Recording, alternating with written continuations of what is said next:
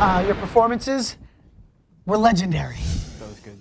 So now, so now I want to talk about two of the songs over here. Okay. Tell me about "Wind the Clock." Uh, Wind the Clock is one of our more like story-oriented songs. Um, it's from the point of view of uh, a, a man who is reflecting on his like inventor father, and his father invents uh, a means of time travel, and he sends his father back in time over and over and over again until his father becomes, uh, I guess you would say, obsessed with or addicted to traveling through time. And it's just kind of like him saying, "Why did I send my dad back so many times? I wish I hadn't. I wish I had sent my time travel dad back." So it's something that everyone can relate to. I feel like. A hundred percent. I thought it was about lollipops. There's a difference. There But is now, a lollipop part, yeah, the lolli- lollipop bridge.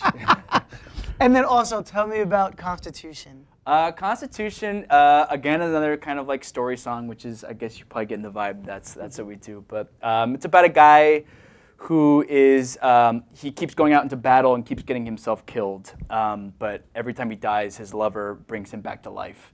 And so he's like, "What is happening? Why do you keep bringing me back to life?"